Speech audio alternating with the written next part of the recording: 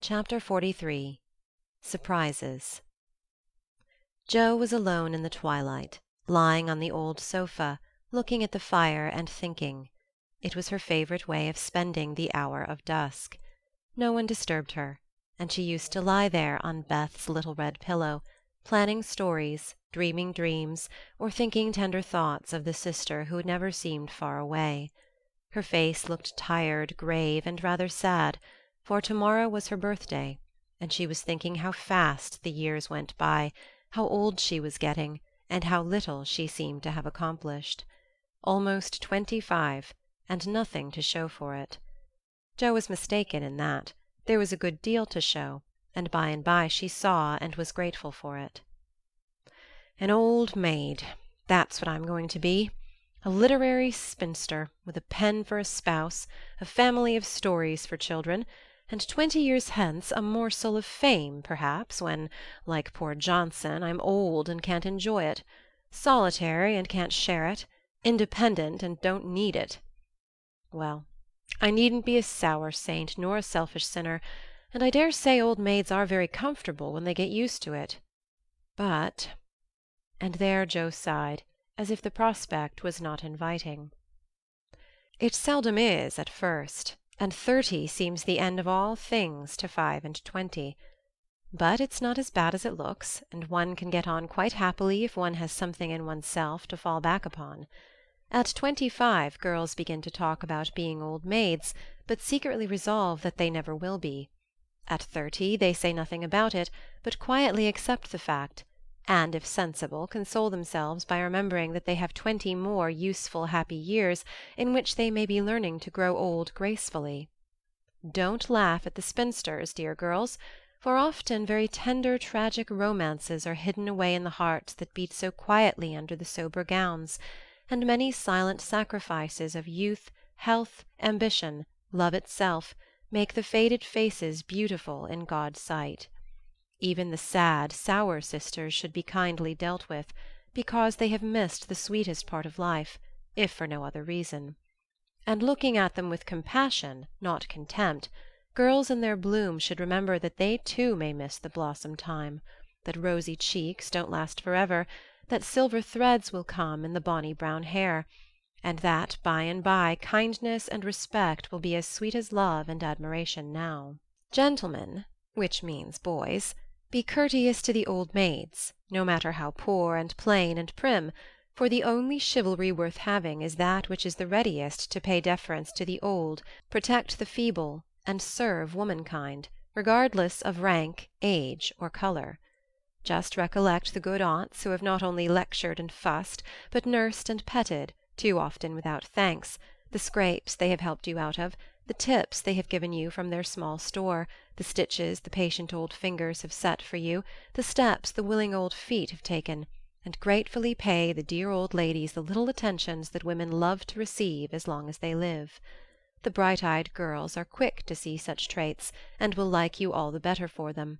And if death, almost the only power that can part mother and son, should rob you of yours, you will be sure to find a tender welcome and maternal cherishing from some aunt Priscilla, who has kept the warmest corner of her lonely old heart for the best nevy in the world.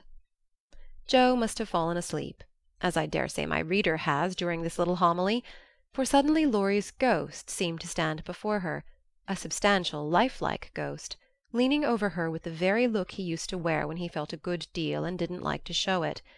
But, like Jenny in the ballad, she could not think it he, and lay staring up at him in startled silence, till he stooped and kissed her. Then she knew him and flew up, crying joyfully, "Oh, my Teddy! Oh, my Teddy!" "Dear Jo, are you glad to see me, then?" "Glad? My blessed boy, words can't express my gladness. Where's Amy?" "Your mother has got her down at Meg's. We stopped there by the way, and there was no getting my wife out of their clutches." "Your what?" Cried Jo, for Laurie uttered those two words with an unconscious pride and satisfaction which betrayed him. "Oh, the dickens, now I've done it!" And he looked so guilty that Jo was down on him like a flash. "You've gone and got married!" "Yes, please, but I never will again." and he went down upon his knees with a penitent clasping of hands and a face full of mischief, mirth, and triumph. Actually married? Very much so, thank you. Mercy on us! What dreadful thing will you do next? And Jo fell into her seat with a gasp. A characteristic, but not exactly complimentary congratulation, returned Laurie, still in an abject attitude, but beaming with satisfaction. What can you expect when you take one's breath away, creeping in like a burglar and letting cats out of bags like that? Get up, you ridiculous boy, and tell me all about it. Not a word, unless you let me come in my old place and promise not to barricade. Jo laughed at that as she had not done for many a long day, and patted the sofa invitingly, as she said in a cordial tone, The old pillow is up garret, and we don't need it now. So come and fess, Teddy. How good it sounds to hear you say Teddy! No one ever calls me that but you." And Laurie sat down with an air of great content. "What does Amy call you?" "My lord." "That's like her. Well, you look it." And Jo's eye plainly betrayed that she found her boy comelier than ever. The pillow was gone, but there was a barricade nevertheless, a natural one, raised by time, absence, and change of heart. Both felt it and for a minute looked at one another as if that invisible barrier cast a little shadow over them. It was gone directly, however, for Laurie said, with a vain attempt at dignity, "Don't I look like a married man and the head of a family?" "Not a bit, and you never will. You've grown bigger and bonnier, but you are the same scapegrace as ever." "Now, really, Jo, you ought to treat me with more respect," began Laurie, who enjoyed it all immensely. "How can I? when the mere idea of you married and settled is so irresistibly funny that I can't keep sober," answered Jo, smiling all over her face, so infectiously that they had another laugh, and then settled down for a good talk, quite in the pleasant old fashion. "It's no use your going out in the cold to get Amy, for they are all coming up presently. I couldn't wait. I wanted to be the one to tell you the grand surprise. And have first skim, as we used to say when we squabbled about the cream. Of course you did, and spoiled your story by beginning at the wrong end. Now start right and tell me how it all happened. I'm pining to know." "Well, I did it to please Amy," began Laurie with a twinkle that made Jo exclaim: "Fib number one! Amy did it to please you. Go on and tell the truth if you can, sir." "Now she's beginning to marmot. Isn't it jolly to hear her?" said Laurie to the fire, and the fire glowed and sparkled as if it quite agreed. It's all the same, you know, she and I being one. We planned to come home with the Carrolls a month or more ago, but they suddenly changed their minds and decided to pass another winter in Paris. But Grandpa wanted to come home. He went to please me, and I couldn't let him go alone. Neither could I leave Amy, and Mrs. Carroll had got English notions about chaperones and such nonsense, and wouldn't let Amy come with us. So I just settled the difficulty by saying, let's be married, and then we can do as we like. Of course you did. You always have things to suit you." "Not always." And something in Laurie's voice made Jo say hastily, "How did you ever get Aunt to agree?" "It was hard work, but between us we talked her over, for we had heaps of good reasons on our side. There wasn't time to write and ask leave, but you all liked it, had consented to it by and by, and it was only taking time by the fetlock, as my wife says." "Aren't we proud of those two words, and don't we like to say them!" interrupted Jo, addressing the fire in her turn, and watching with delight the happy light it seemed to kindle in the eyes that had been so tragically gloomy when she saw them last. "A trifle, perhaps. She's such a captivating little woman I can't help being proud of her. Well, then uncle and aunt were there to play propriety.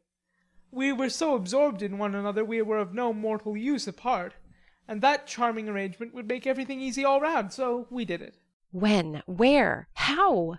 asked Jo, in a fever of feminine interest and curiosity, for she could not realize it a particle. "Six weeks ago at the American consul's in Paris. A very quiet wedding, of course; for even in our happiness we didn't forget dear little Beth."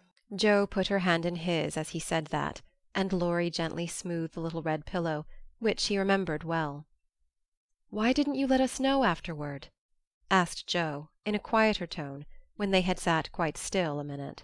We wanted to surprise you.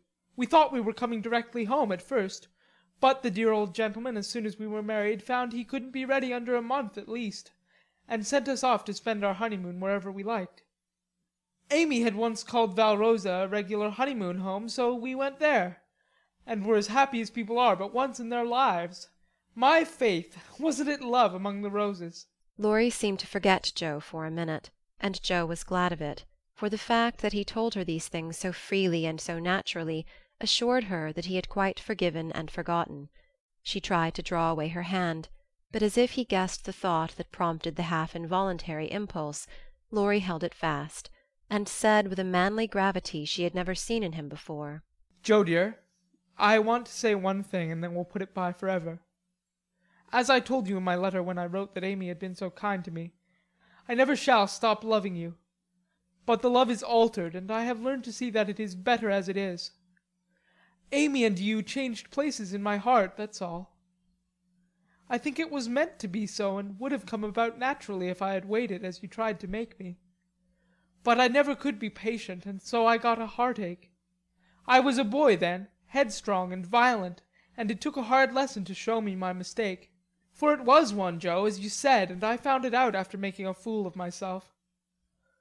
Upon my word, I was so tumbled up in my mind at one time that I didn't know which I loved best, you or Amy, and tried to love you both alike. But I couldn't, and when I saw her in Switzerland everything seemed to clear up all at once. You both got into your right places, and I felt sure that it was well off with the old love before it was on with the new, that I could honestly share my heart between sister Jo and wife Amy, and love them dearly. Will you believe it, and go back to the happy old times when we first knew one another? I'll believe it with all my heart. But, Teddy, we never can be boy and girl again. The happy old times can't come back, and we mustn't expect it. We are man and woman now, with sober work to do, for playtime is over, and we must give up frolicking. I'm sure you feel this. I see the change in you, and you'll find it in me. I shall miss my boy but I shall love the man as much, and admire him more, because he means to be what I hoped he would. We can't be little playmates any longer, but we will be brother and sister, to love and help one another all our lives. Won't we, Laurie?" He did not say a word, but took the hand she offered him and laid his face down on it for a minute, feeling that out of the grave of a boyish passion there had risen a beautiful strong friendship to bless them both. Presently Jo said cheerfully, for she didn't want the coming home to be a sad one: "I can't make it true that you children are really married and going to set up housekeeping. Why, it seems only yesterday that I was buttoning Amy's pinafore and pulling your hair when you teased. Mercy me, how time does fly!" As one of the children is older than yourself, you needn't talk so like a grandma. I flatter myself I'm a gentleman growed, as Peggotty said of David. And when you see Amy you'll find her a rather precocious infant," said Laurie, looking amused at her maternal air. "You may be a little older in years, but I'm ever so much older in feeling, Teddy. Women always are. And this last year has been such a hard one that I feel forty." "Poor Jo. We left you to bear it alone while we went pleasuring. You are older. Here's a line and there's another. Unless you smile, your eyes look sad, and when I touched the cushion just now I found a tear on it. You've had a great deal to bear, and had to bear it all alone. What a selfish beast I've been!" And Laurie pulled his own hair with a remorseful look. But Jo only turned over the traitorous pillow, and answered in a tone which she tried to make more cheerful: "No, I had father and mother to help me, and the dear babies to comfort me and the thought that you and Amy were safe and happy to make the troubles here easier to bear. I am lonely sometimes, but I dare say it's good for me, and "You never shall be again," broke in Laurie, putting his arm about her as if to fence out every human ill. "Amy and I can't get on without you. So you must come and teach the children to keep house, and go halves in everything, just as we used to do, and let us pet you, and all be blissfully happy and friendly together. If I shouldn't be in the way it would be very pleasant. I begin to feel quite young already, for somehow all my troubles seemed to fly away when you came. You always were a comfort, Teddy." And Jo leaned her head on his shoulder, just as she did years ago, when Beth lay ill and Laurie told her to hold on to him. He looked down at her, wondering if she remembered the time, but Jo was smiling to herself, as if in truth her troubles had all vanished at his coming. You are the same Jo still, still dropping tears about one minute and laughing the next. You look a little wicked now. What is it, Grandma? I was wondering how you and Amy get on together. Like angels. Yes, of course. But which rules? I don't mind telling you that she does now. At least I let her think so. It pleases her, you know. By and by we shall take turns. For marriage, they say, halves one's rights and doubles one's duties. You'll go on as you begin, and Amy will rule you all the days of your life. Well, she does it so imperceptibly that I don't think I shall mind much. She's the sort of woman who knows how to rule well. In fact, I rather like it for she winds one round her finger as softly and prettily as a skein of silk, and makes you feel as if she was doing you a favor all the while. That ever I should live to see you a hen-pecked husband and enjoying it!" Cried Jo, with uplifted hands. It was good to see Laurie square his shoulders and smile with masculine scorn at that insinuation, as he replied with his high and mighty air: "Amy is too well bred for that, and I am not the sort of man to submit to it. My wife and I respect ourselves and one another too much ever to tyrannize or quarrel." Jo liked that, and thought the new dignity very becoming; but the boy seemed changing very fast into the man, and regret mingled with her pleasure. "I am sure of that. Amy and you never did quarrel as we used to. She is the sun, and I the wind in the fable, and the sun managed the man best, you remember." "She can blow him up as well as shine on him," laughed Laurie. Such a lecture as I got at Nice! I give you my word it was a deal worse than any of your scoldings, a regular rouser. I'll tell you about it some time. She never will, because after telling me that she despised and was ashamed of me, she lost her heart to the despicable party and married the good for nothing." "What baseness! Well, if she abuses you, come to me, and I'll defend you." "I look as if I needed it, don't I?" said Laurie, getting up and striking an attitude which suddenly changed from the imposing to the rapturous as Amy's voice was heard calling. "Where is she? Where is my dear old Jo?" In trooped the whole family, and every one was hugged and kissed all over again, and after several vain attempts the three wanderers were set down to be looked at and exulted over. Mr. Lawrence, hale and hearty as ever, was quite as much improved as the others by his foreign tour for the crustiness seemed to be nearly gone, and the old-fashioned courtliness had received a polish which made it kindlier than ever. It was good to see him beam at "my children," as he called the young pair. It was better still to see Amy pay him the daughterly duty and affection which completely won his old heart; and best of all, to watch Laurie revolve about the two, as if never tired of enjoying the pretty picture they made. The minute she put her eyes upon Amy Meg became conscious that her own dress hadn't a Parisian air, that young Mrs. Moffatt would be entirely eclipsed by young Mrs. Lawrence, and that "her ladyship" was altogether a most elegant and graceful woman. Jo thought, as she watched the pair, "How well they look together! I was right; and Laurie has found the beautiful, accomplished girl who will become his home better than clumsy old Jo, and be a pride, not a torment to him. Mrs. March and her husband smiled and nodded at each other with happy faces, for they saw that their youngest had done well, not only in worldly things, but the better wealth of love, confidence, and happiness. For Amy's face was full of the soft brightness which betokens a peaceful heart, her voice had a new tenderness in it, and the cool prim carriage was changed to a gentle dignity both womanly and winning.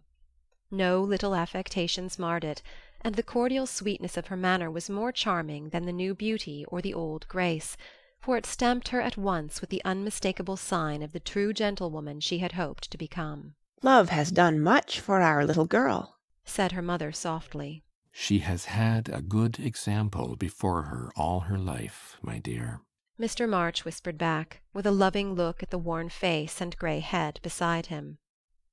Daisy found it impossible to keep her eyes off her petit auntie, but attached herself like a lap-dog to the wonderful chatelaine full of delightful charms. Demi paused to consider the new relationship before he compromised himself by the rash acceptance of a bribe, which took the tempting form of a family of wooden bears from Berne. A flank movement produced an unconditional surrender, however, for Laurie knew where to have him.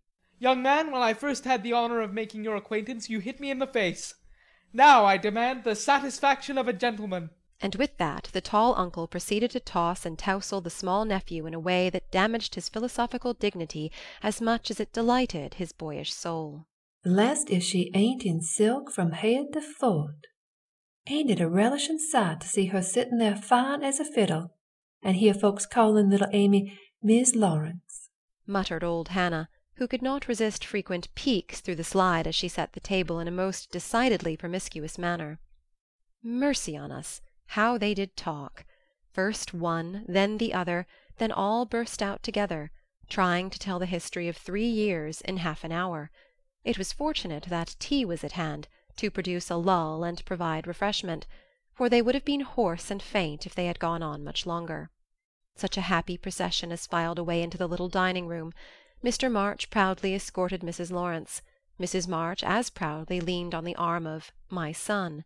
The old gentleman took Jo, with a whispered You must be my girl now. and a glance at the empty corner by the fire, that made Jo whisper back, "I'll try to fill her place, sir."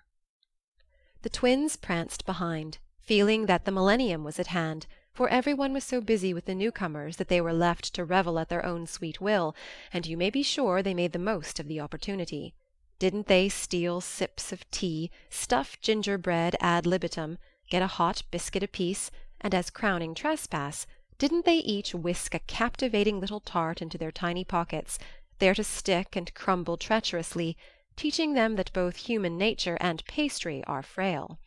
Burdened with the guilty consciousness of the sequestered tarts, and fearing that Dodo's sharp eyes would pierce the thin disguise of cambric and merino which hid their booty, the little sinners attached themselves to "Dranpa," who hadn't his spectacles on.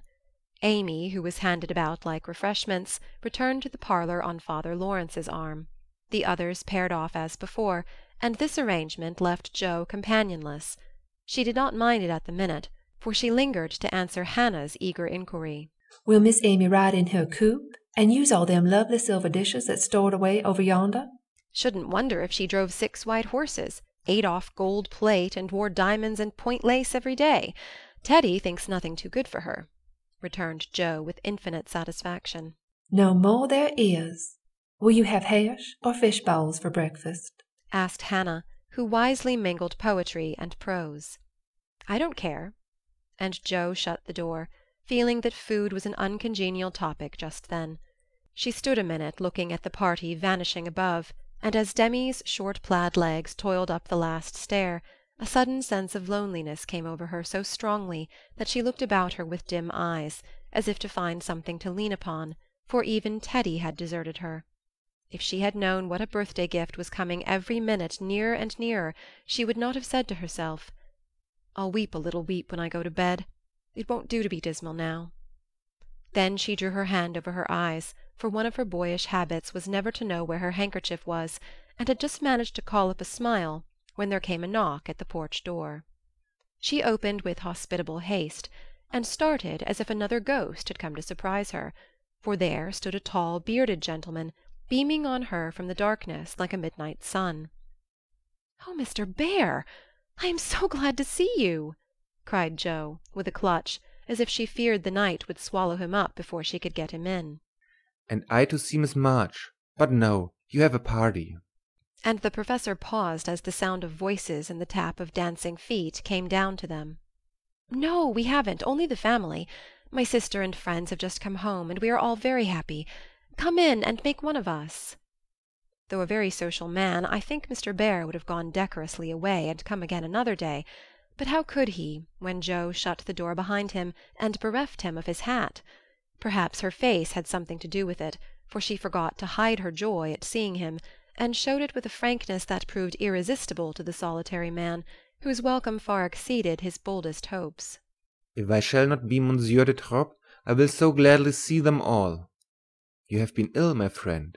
He put the question abruptly, for as Jo hung up his coat the light fell on her face and he saw a change in it. Not ill, but tired and sorrowful. We have had trouble since I saw you last. Ah, yes, I know. My heart was sore for you when I heard that. And he shook hands again, with such a sympathetic face that Jo felt as if no comfort could equal the look of the kind eyes, the grasp of the big warm hand. "Father, mother, this is my friend, Professor Bhaer," she said, with a face and tone of such irrepressible pride and pleasure that she might as well have blown a trumpet and opened the door with a flourish. If the stranger had any doubts about his reception, they were set at rest in a minute by the cordial welcome he received. Every one greeted him kindly, for Jo's sake at first, but very soon they liked him for his own. They could not help it, for he carried the talisman that opens all hearts, and these simple people warmed to him at once feeling even the more friendly because he was poor. For poverty enriches those who live above it, and is a sure passport to truly hospitable spirits. Mr. Bhaer sat looking about him with the air of a traveller who knocks at a strange door, and when it opens finds himself at home. The children went to him like bees to a honey-pot, and establishing themselves on each knee, proceeded to captivate him by rifling his pockets, pulling his beard, and investigating his watch with juvenile audacity. The women telegraphed their approval to one another, and Mr. March, feeling that he had got a kindred spirit, opened his choicest stores for his guest's benefit, while silent John listened and enjoyed the talk, but said not a word, and Mr. Lawrence found it impossible to go to sleep. If Jo had not been otherwise engaged, Laurie's behaviour would have amused her, for a faint twinge, not of jealousy, but something like suspicion caused that gentleman to stand aloof at first and observe the newcomer with brotherly circumspection. But it did not last long. He got interested in spite of himself, and before he knew it was drawn into the circle. For Mr. Bhaer talked well in this genial atmosphere, and did himself justice. He seldom spoke to Laurie, but looked at him often, and a shadow would pass across his face, as if regretting his own lost youth, as he watched the young man in his prime. Then his eyes would turn to Jo so wistfully that she would surely have answered the mute inquiry if she had seen it. But Jo had her own eyes to take care of, and feeling that they could not be trusted, she prudently kept them on the little sock she was knitting, like a model maiden aunt. A stealthy glance now and then refreshed her like sips of fresh water after a dusty walk, for the sidelong peeps showed her several propitious omens. Mr. Bhaer's face had lost the absent-minded expression, and looked all alive with interest in the present moment actually young and handsome, she thought, forgetting to compare him with Laurie, as she usually did strange men, to their great detriment. Then he seemed quite inspired, though the burial customs of the ancients, to which the conversation had strayed, might not be considered an exhilarating topic. Jo quite glowed with triumph when Teddy got quenched in an argument, and thought to herself, as she watched her father's absorbed face how he would enjoy having such a man as my professor to talk with every day! Lastly, Mr. Bhaer was dressed in a new suit of black, which made him look more like a gentleman than ever. His bushy hair had been cut and smoothly brushed, but didn't stay in order long, for in exciting moments he rumpled it up in the droll way he used to, and Jo liked it rampantly erect better than flat, because she thought it gave his fine forehead a Jove-like aspect. Poor Jo! How she did glorify that plain man, as she sat knitting away so quietly, yet letting nothing escape her, not even the fact that Mr. Bhaer actually had gold sleeve-buttons in his immaculate wristbands. Dear old fellow! He couldn't have got himself up with more care if he'd been going a-wooing, said Jo to herself. And then a sudden thought born of the words made her blush so dreadfully that she had to drop her ball and go down after it to hide her face. The manoeuvre did not succeed as well as she expected, however, for though just in the act of setting fire to a funeral pyre, the professor dropped his torch, metaphorically speaking, and made a dive after the little blue ball. Of course they bumped their heads smartly together, saw stars, and both came up flushed and laughing, without the ball, to resume their seats, wishing they had not left them. Nobody knew where the evening went to, for Hannah skilfully abstracted the babies at an early hour nodding like two rosy poppies, and Mr. Lawrence went home to rest. The others sat round the fire talking away, utterly regardless of the lapse of time, till Meg, whose maternal mind was impressed with a firm conviction that Daisy had tumbled out of bed and Demi set his nightgown afire studying the structure of matches, made a move to go. "We must have our sing in the good old way, if we are all together again once more," said Jo. feeling that a good shout would be a safe and pleasant vent for the jubilant emotions of her soul. They were not all there, but no one found the words thoughtless or untrue, for Beth still seemed among them, a peaceful presence, invisible but dearer than ever, since death could not break the household league that love made dissoluble. The little chair stood in its old place; the tidy basket, with the bit of work she left unfinished when the needle grew so heavy, was still on its accustomed shelf; the beloved instrument, seldom touched now, had not been moved, and above it Beth's face, serene and smiling, as in the early days, looked down upon them, seeming to say, Be happy. I am here. Play something, Amy. Let them hear how much you have improved, said Laurie with pardonable pride in his promising pupil. But Amy whispered with full eyes, as she twirled the faded stool, Not tonight, dear. I can't show off tonight. But then she did show something better than brilliancy or skill, for she sang Beth's songs with a tender music in her voice which the best master could not have taught, and touched the listeners' hearts with a sweeter power than any other inspiration could have given her. The room was very still, when the clear voice failed suddenly at the last line of Beth's favorite hymn. It was hard to say, "Earth hath no sorrow that heaven cannot heal," and Amy leaned against her husband, who stood behind her, feeling that her welcome home was not quite perfect without Beth's kiss. "Now we must finish with Mignon's song, for Mr. Bhaer sings that," said Jo, before the pause grew painful and Mr. Bhaer cleared his throat with a gratified "hem" as he stepped into the corner where Jo stood, saying, You will sing with me? We go excellently well together. A pleasing fiction, by the way, for Jo had no more idea of music than a grasshopper; but she would have consented if he had proposed to sing a whole opera, and warbled away blissfully regardless of time and tune. It didn't much matter, for Mr. Bhaer sang like a true German, heartily and well and Jo soon subsided into a subdued hum, that she might listen to the mellow voice that seemed to sing for her alone. Knowst thou the land where the citron blooms? used to be the professor's favorite line, for das Land meant Germany to him; but now he seemed to dwell, with peculiar warmth and melody, upon the words There, oh there, might I with thee, O my beloved, go. And one listener was so thrilled by the tender invitation that she longed to say she did know the land, and would joyfully depart thither whenever he liked. The song was considered a great success, and the singer retired covered with laurels; but a few minutes afterward he forgot his manners entirely, and stared at Amy putting on her bonnet, for she had been introduced simply as "my sister," and no one had called her by her new name since he came. He forgot himself still further when Laurie said in his most gracious manner at parting, My wife and I are very glad to meet you, sir. Please remember that there is always a welcome waiting for you over the way."